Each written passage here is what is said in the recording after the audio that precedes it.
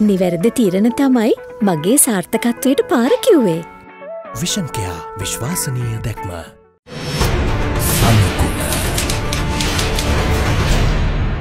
විශේෂයෙන් මම වෙලේම සඳහන් කර දැත්තම අපි නායකයෝ ගාම නිදිසානායක මැත්තුම ප්‍රේමදාස මැත්තුමා ඉඳලම ගාම නිදිසානායක ලලිත ඇතුළත් මුදලී රංජන විජේරත්න ඔසිය බේගුණසේකර ප්‍රේමචන්ද වීරසිංහ මල්ලිමා රච්චි ගාමිණි විජේසේකර එක පක්ෂයකටවත් මෙහෙම නායකයෝ නැති උන්නේ නැහැ. එක්සත් ජාතිපක්ෂ මේ සියලු දෙනාම හොඳම කාලෙක එක්සත් ජාතිපක්ෂේ ප්‍රබලම නායකයෝ නමයකට ආසන්න ප්‍රමාණයක් යුද්ධයෙන් නැති වුණා.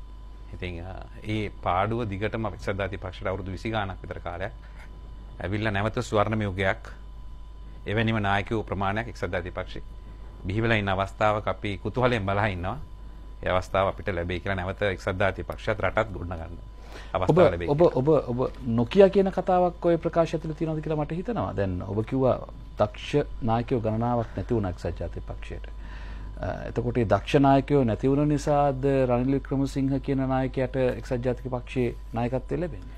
එක විදිහකින් ඔව් ගම්සානක මැතිතුමත් ප්‍රේමදාස මැතිතුමත් හිටියානම් රනිල් වික්‍රමසිංහ මැතිතුමාට රංජ විජයරත්න මැතිතුමාලා ඔක්කොමලා හිටියානම් රනිල් වික්‍රමසිංහ මැතිතුමාට එච්චරට ඉක්මනින් ඒ අවස්ථාව නොලැබෙන්න තිබුණා. එහම ලැබුණනාන් දේශපාලනය වෙනස් වෙන්නත් තිබුණා. ඉතින් අවස්ථාව නිවාරෙන් ගමසර මහත්ම ජීවතුනට හිටියන ප්‍රමස් මහත්ම හිටියන අවස්ථා දෙක් දිවත් ජයග්‍රහණ කරන අනිවාරම් ඊට පස්සේ ගාමිනිසානක මහත්ම අනිවාරම් ජයග්‍රහණ කරන මං ඔබෙන් අහන්න දැන් වර්තමානය ගැන. වර්තමානයේ. මේ දවස්වල මොකද වෙලා තියෙන පක්ෂයට? මේ දවස්වල දැන් අපි සදිත් ප්‍රේමදාස මැතිතුමා අපේක්ෂක වශයෙන් ඉදිරිපත් කරන්න කියලා පක්ෂයේ බහුතරයක්. 80ක වගේ ප්‍රමාණයක් മന്ത്രിවරු පාර්ලිමේන්තු മന്ത്രിවරු පළාත් සභා මන්ත්‍රීවරු 100ට 100ම වගේ පළාත් පාලන මන්ත්‍රීවරු 100ට 100ම වගේ ඒ අදහස ප්‍රකාශ කරනවා. ඉතින් අපි ධනාත්මක පිළිතුරක් අගමැතිතුමා යනකම් බලා ඉන්නවා. කොච්චර දුරට යයිද මේ ගමන සජිත් ප්‍රේමදාස අවශ්‍යයි කියන ගමන ඉතිහාසයේ වරින් වර සිදුවුණු සිදුවීම නැවත වතාවක් සිදුවීමෙන් පවතිනවා. මේ ඉතිහාසයයි වර්තමානයේ නැවත වතාවක් අස්පනා පිට සිදුවෙන්නේ කොච්චර දුර යයිද? මම හිතන්නේ ළඟ ඉතිහාසයෙන් අපි පාඩනොත් ඉගෙන ගන්න තියෙනවා. ඔබගෙනගෙන තියෙනවද? අපි ගෙන තියෙන ඉදන ම තාම පක්ෂයන්නේ මලාන ඒකයි කොච්චර දුරයයිද මේ ගමන කිය ම දිගටම ඉන්නවා. දැන් සටන් කරපු හැට පහක් වගේ ප්‍රමාණයක් මන්ත්‍රීවරු පක්ෂයදා ලගිය හැබ මම මේ සටන්ට බැස්සේ අන්න නෙවේ ඉතිං අමාරුකාරයක් සටන් කරනකොට යම් යම් හිතන්නේ පීඩනවලට ලක්වෙනවා පක්ෂය තුළ හැබැයිතිං මම එකට බැස්සේ යන්න කියලා හිතේ තියාගෙන අනිවාර්යෙන්ම එක්සත් ධාතිපක්ෂ ශක්තිමත් කරනවා කියන අධිටන යුතුව. මට දැන් මේ හැමතුමගේ මෙහෙම ප්‍රශ්නයක් අහන්න හිතෙනවා. දැන් රනිල් වික්‍රමසිංහ මහත්මයා කියන්නේ අවස්ථා ගණනාවකදීම අගමැති ධූරය දරපු නායකයා. ඔහු පක්ෂේ නායකයා. ඇහි ඔහුව අයින් කරලා ඔබතුමන්ලා මේ සජිත් ප්‍රේමදාස මහත්තයාව ගෙන්න හදන්නේ.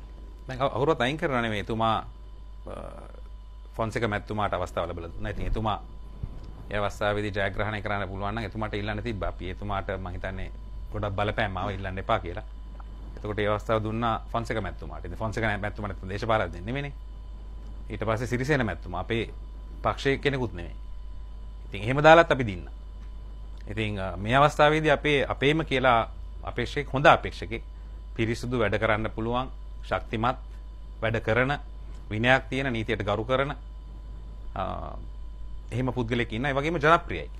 රනිල් වික්‍රමසිංහ කියන්නේ ඔබේ අපේක්ෂකෙක් නෙවෙයිද එතකොට? මගේ අපේක්ෂක නෙවෙයි මේ පාර. ඔබේ අපේක්ෂකයා නෙවෙයි. හැබැයි ඔබ දන්නවද සජිත් ප්‍රේමදාස සහ රනිල් වික්‍රමසිංහ අතර හමුවේදී වාද වාර්තා පළ කරනවා තමන් ඉදිරිපත් වන්න සූදානම් කියලා වර්තමාන අග්‍රාමාත්‍යරයා ඔබේ අපේක්ෂකයාට සජිත් ප්‍රේමදාසට සඳහන් කළා කියලා. මම ඒදි දන්නවා. ඉතින් එතුමාට අපි කියන්නේ ප්‍රජාතන්ත්‍රවාදී ලෙස එතුමාව පත් කරොත් ඔක්කොමලා මගේ අපේක්ෂකයා නොවුනත් එතුමා පත් වුණොත් මම එතුමාට වැඩ කරනවා. අපි ඔක්කොම දැන් ඔබ ඔබ ඔබ දිගින් දිගටම කියපු කාරණයක් තමයි ප්‍රාදේශීය සභා මන්ත්‍රීවරු, පළාත් සභා මන්ත්‍රීවරු, පාර්ලිමේන්තු මන්ත්‍රීවරු සියල්ලම ඉල්ලන්නේ සජිත්ව කියලා. රනිල්ව ඉල්ලන්නේ නැත්තේ ඇයි?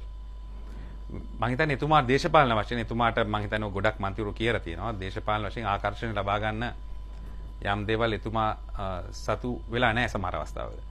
ඉතින් ඒක දේශපාලනයෙන් ඒක ඉගෙන ගන්න ඕන දේවල්. අපිට මම හිතන්නේ ඒක පාසලකට ගිහලා ඉගෙන ගන්න පුළුවන්. ඒ කියන්නේ ඔබ කියන්නේ රනිල් වික්‍රමසිංහ මහතා රටේ අගමැති වුණාට රනිල් වික්‍රමසිංහ මහතා ෆේල් කියලාද ඔබ කියන්නේ? නැහැ එහෙම නෙමෙයි. ඡන්දය ජයග්‍රහණය කිරීම සඳහා එතුමා එතුමාට ජයග්‍රහණය කරන්න පුළුවන් නම් අනිවාර්යයෙන් එතුමා ෆොන්සේක මැතිතුමා හරි අපි සිරිසෙන මැතිතුමා ඉදිරිපත් කරන්නේ නැහනේ.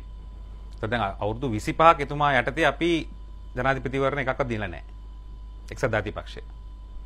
ඒතකොට දැන් ප්‍රශ්නයක් තියෙනවනේ. සුදේව කරන මේ ප්‍රෝග්‍රෑම් එක අවුරුදු පහක් ෆේල් නම් එතකොට අනිවාර්යයෙන්ම හිතන්න වෙනවා මේකේ නායකත්වය රංගන්ට හරි නැත්නම් හොඳයි ඒ කියන්නේ ඒ කියන්නේ දැන් උතන උතන ප්‍රශ්න වෙන්නේ දැන් යමෙක් කරන කාර්යයකට තමයි ප්‍රතිචාර ලැබෙන්නේ.